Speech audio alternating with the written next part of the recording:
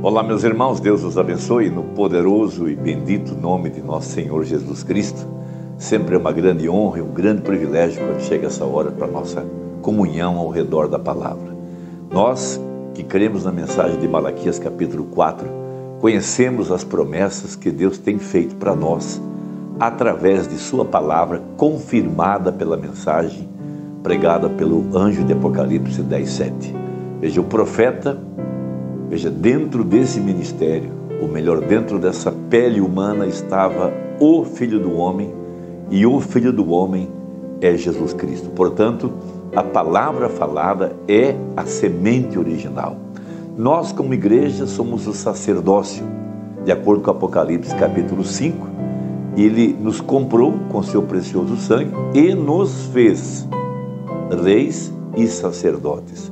Ele não nos fez profetas, muito embora nós temos percepção profética, mas nós não somos profetas. A percepção profética é para receber a palavra para o dia que nós estamos vivendo. Essa percepção capaz de captar os mistérios que estavam escondidos dentro da palavra e que seriam revelados nesses últimos dias pela mensagem do anjo de Apocalipse 10:7, especialmente aquele segredo que João não pôde escrever, que foram as sete vozes dos sete trovões de Apocalipse 10. Mas esse segredo seria revelado nos dias da voz do sétimo anjo, quando ele tocasse essa trombeta, esse mistério estaria revelado através do ministério dele.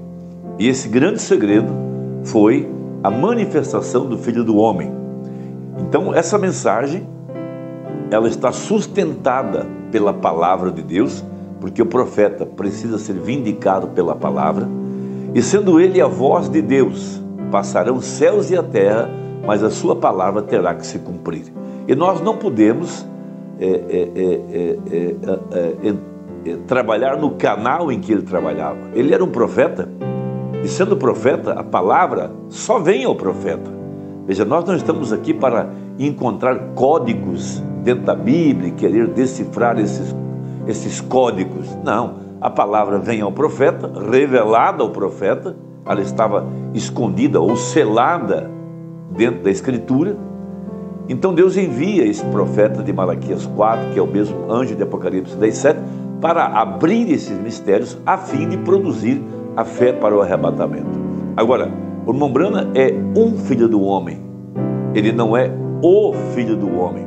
O filho do homem é Cristo.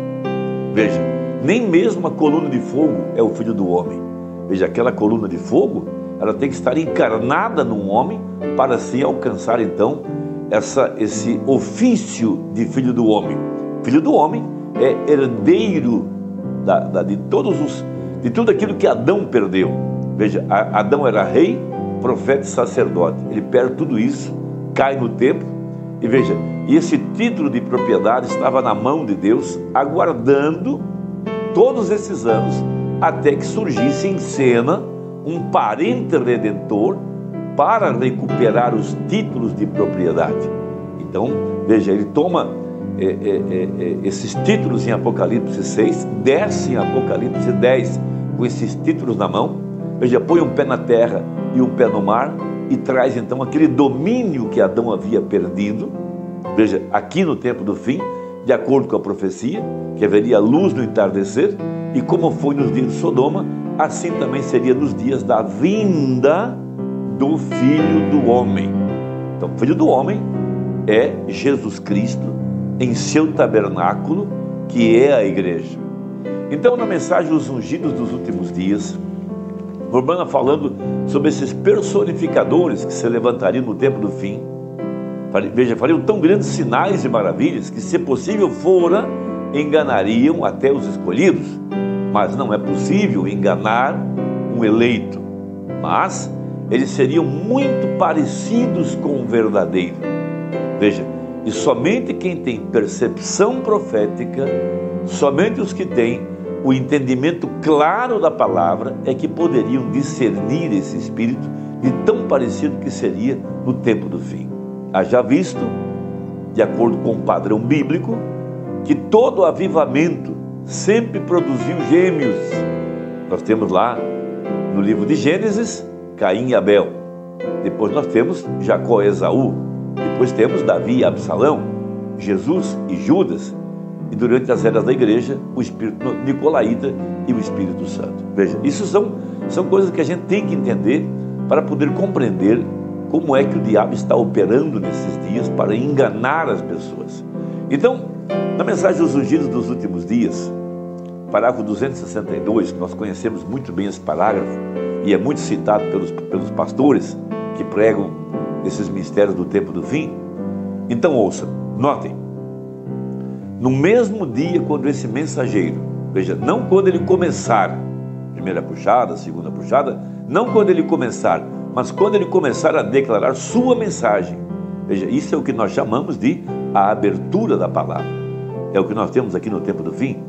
Veja, a primeira puxada, cura. Segunda puxada, profecia. Terceira puxada, a abertura da palavra.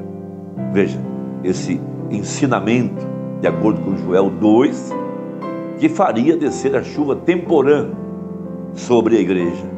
Veja, agora, veja, abertura da palavra, os mistérios revelados. Não mais não há ordem mais superior para revelar a palavra do que os profetas. Então não se trata de nós termos habilidade para decifrar mistérios, não. Nós jamais teríamos condição de entender esses mistérios se não fossem revelados pelo anjo de Apocalipse 10:7. Veja, mas a única maneira do profeta ser, vindi, ser um vindicado é pela palavra. Então, todo esse ensinamento profético tem que estar corretamente abalizado pela Escritura. E lembre-se, a terceira puxada foi a abertura dos sete selos para revelar a verdade oculta que tem estado selada na palavra. Então não é alguma revelação de algum mistério que, está fora da palavra. Não.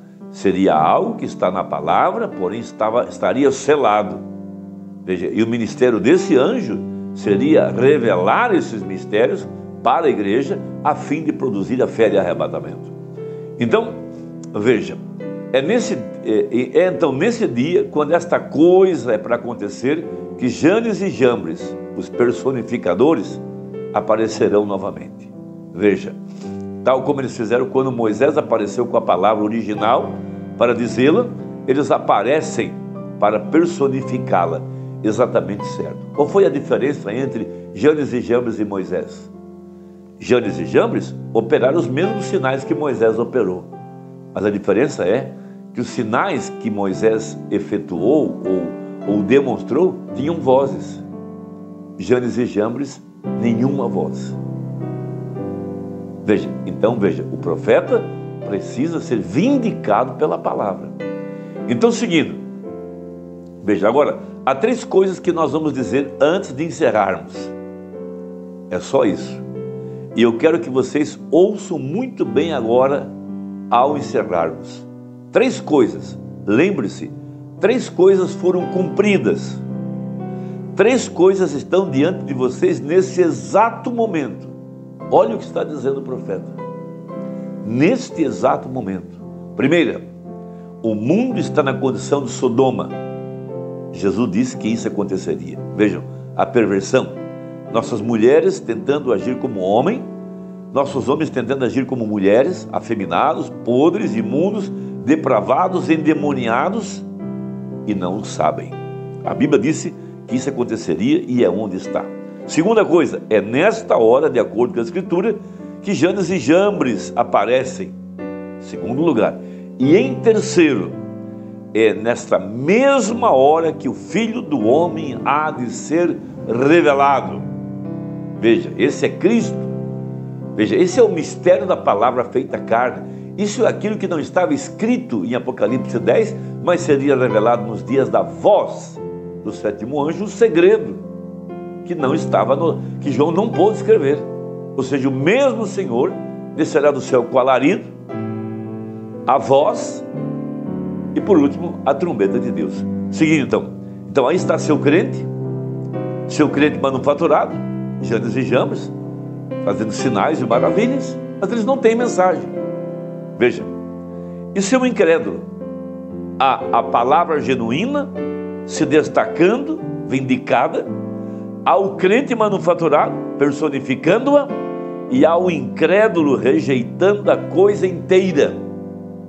Mas Zacarias disse: haverá luz no entardecer, ou seja, a palavra estaria em carne humana outra vez. Meu irmão, medite nisso.